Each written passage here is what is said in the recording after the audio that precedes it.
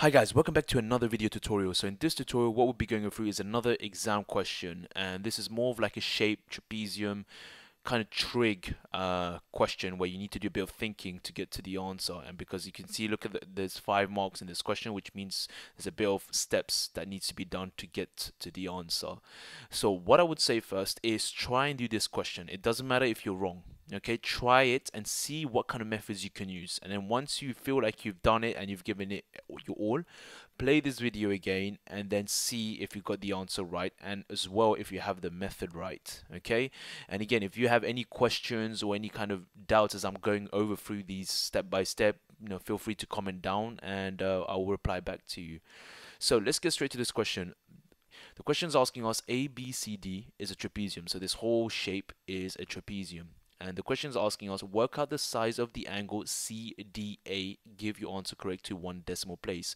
So my angle CDA, if I use, okay, let's use a different color. If my angle CDA is basically going to be CDA, so it's going to be the letter that's in the middle, which is my angle. And I'm just going to label this as theta.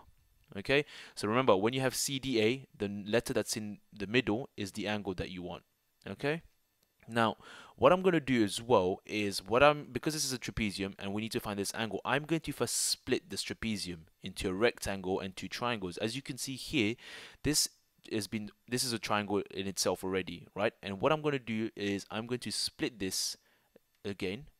So what I will have is you can see now you have a rectangle and then you have another triangle, right? A 90 degrees triangle. And I will explain, I'm going to give you a quick high level of what I'm going to do and then I'm going to show you the steps. So basically what I'm going to do is for me to find this angle, I need to know this length or this length or this length, but I need at least two lengths of this triangle, right? Because or else I can't find the angle using the trig SOHCAHTOA. So that's where I'm the method I'm going to use is SOHCAHTOA. But for me to use SOHCAHTOA for to get this angle, I need e two lengths, either the hypotenuse or the opposite, or the opposite or adjacent, or the adjacent and hypotenuse. I need two lengths to get the angle. So the question is now we need to first reverse engineer and work out our lengths.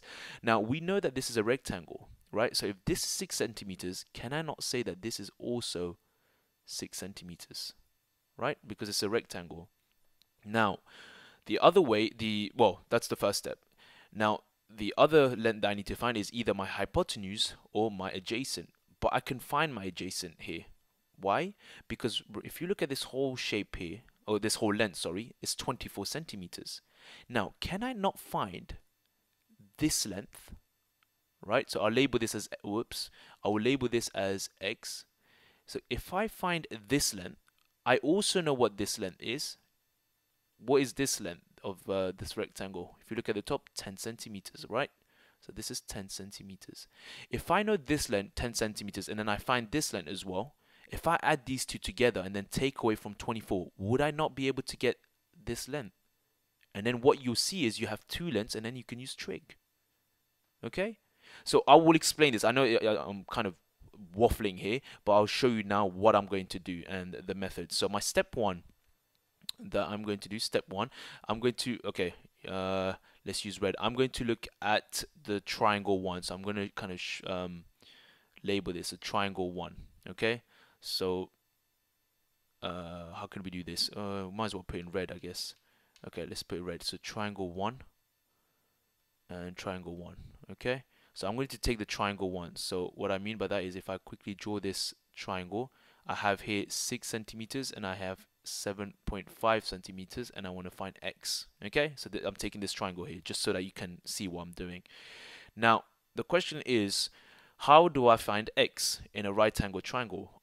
And the answer to that is the method I'm going to use is Pythagoras theorem right? Pythagoras theorem is h squared is equals to a squared plus b squared. Or I guess now you guys use c squared I think. It really doesn't matter. Now my hypotenuse in this triangle is 7.5 so I'm going to have 7.5 squared equals it doesn't matter which one is a or b. So I'm going to put a as 6 so it's going to be 6 squared. And my b is going to be x. And x is what I'm going to find. But because it's b squared it's going to be x squared. Now if I rearrange this to get x as the subject so I'll have x squared I'm going to move this 6 squared to the other side so it's going to be 7.5 squared minus 6.5 squared. okay? And if you want to find x remember what you do you square root the whole thing. So if you square root 7.5 squared minus 6.5 squared. And then if you put that in your calculator what you should get is 4.5 so x is 4.5 centimeters okay?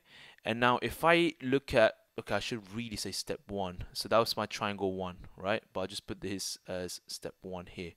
Now if I look at step if I do step two okay? So if I take step two now what I'm going to do is because now I found this x length which is 4.5 I'm going to first do 4.5 centimeters plus 10 centimeters okay which is equals to 14.5 right? Because I want to find this length here so I'm going to do 24 centimeters the whole length 24 minus this length this total length here because then I will be left with this length here. So it's 24 minus 14.5 and that will give you 9.5 centimeters. So if I label that here now this length well that's definitely not a straight line but okay. This length if you like now is 9.5 centimeters. And if we look at triangle 3 now if we take triangle 3 right oh no I should say triangle 2 really. Where did because there's no 2 so if I look at triangle 2 right so let me put triangle 2 here and use triangle 2 and then if I draw that again here again you don't need to do this in the exam the drawing triangles again. I'm just showing you so you kind of see what it is that I'm doing and what I'm referring to. But you don't need to do that. So this is theta right?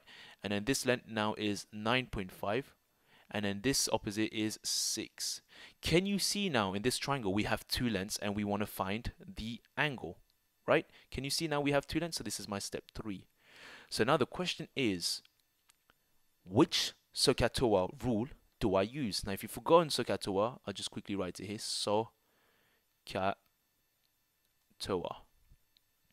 Okay, and if you look at this triangle, you have an opposite and then you have an adjacent. Which out of these three, the sine, cos, and tan, has both the opposite and adjacent?